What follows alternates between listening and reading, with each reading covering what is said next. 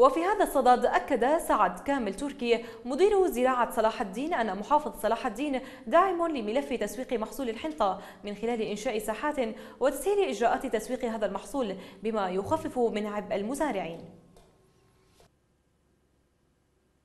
الاجتماع مناقشة عدة محاور ومنها والأهم في هذا الموضوع هو الخطة الأساسية لاستيعاب الكميات المسوقة من محصول الحنطة لوزارة التجارة.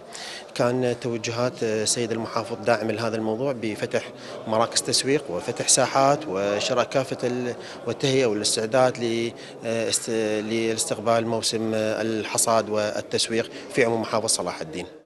وزارة الزراعة وبالتنسيق مع محافظ صلاح الدين واللجنة الزراعية لديها خطط هادفة في من أجل زيادة المساحة الزراعية في عموم محافظ صلاح الدين وبمختلف المحاصيل وخصوصا المحاصيل الاستراتيجية اللي هي الحنطة والذرة الصفراء.